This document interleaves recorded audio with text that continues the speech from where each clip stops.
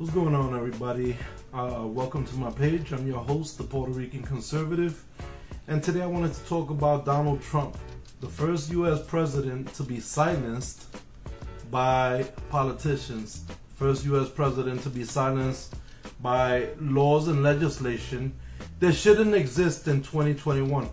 And I'm talking about laws that were passed and proposed by politicians who bypassed constitutions in order to get these thought policing uh, uh, um, laws into place so that today in, in, today's time we can witness what we're witnessing now which is a US president that has been silenced by social media platforms. A US president silenced by Facebook. A US president silenced by YouTube. It's a US president silenced by Google a U.S. president uh, silenced by Instagram and by WhatsApp.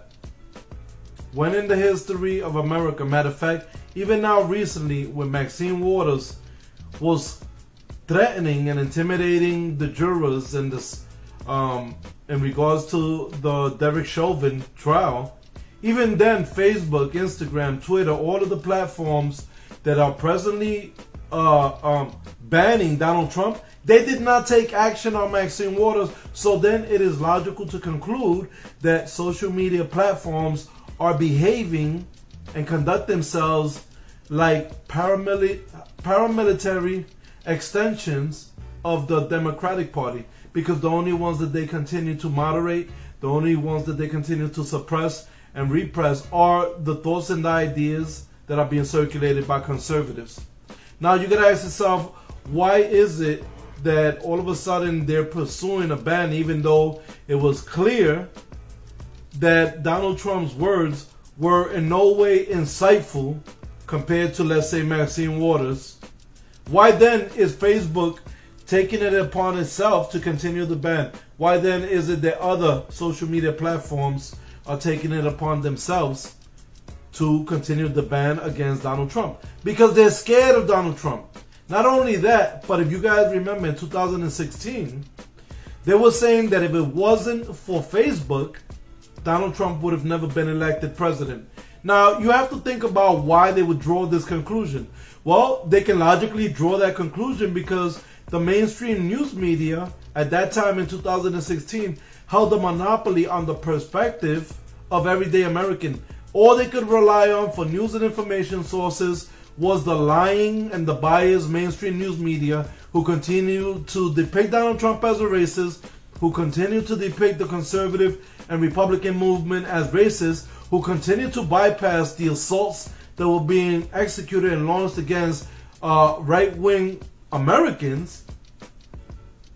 And once they lost that monopoly, because the right began to notice what was going on, they began to network on platforms such as Facebook, such as Twitter, such as Instagram. And this is why it is important for those platforms to keep Donald Trump out of their platform because they know that once he comes back, he's going to start speaking the truth. And then they're going to truly show their bias because they've been allowing a lot of these left wing politicians to get away with inciting violence or inciting riots if certain outcomes for certain verdicts, for certain cases, don't turn out the way they want it. Now, here's the thing. I'm not just speculating. Donald Trump brought up a very important point while he was president. He brought it up the first time and nobody took it serious, including Ted Cruz, and it wasn't until the president of the United States of America, Donald Trump, was banned. Like, think about this. Social media platforms are silencing a former U.S. president and everybody that claims to be Republican and conservative is quiet about it. It's like they're okay with it. They don't know what steps to take to stop this from happening. Either that or they're so busy circulating memes or circulating uh, Terrence Lawrence or Hodge Twins or some other comic in the right that they don't realize how major it is when coming out of your own mouth to say the President of the United States of America was quieted, was silenced by social media platforms. Just saying it out loud will tell you how serious this matter is. How is this possible? Well, there's a section that Donald Trump brought up in law called Section 230C which states that under the Good Samaritan protection from civil liability, the operators of interactive computer services in, um, in the removal or moderation of third party material are capable as long as they deem it uh, uh, obscene or offensive, even of constitutionally protected speech, including political speech. So, this is amazing. The reason I always found this to be the most controversial section of law is because if you guys take a look at what the First Amendment says, it clearly states that Congress doesn't have the power to create laws that will abridge or impede upon the freedom of speech of Americans.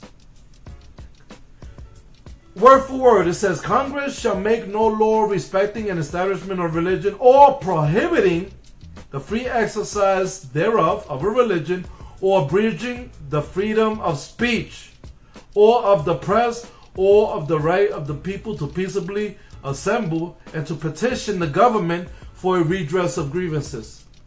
Where there does it says that Congress has the power to do so? It doesn't say it. Says Congress shall make no law. This is an amendment, the First Amendment, that states that Congress doesn't have the power. So if Congress doesn't have the power, then who the hell wrote and passed Section 230? And that's the thing.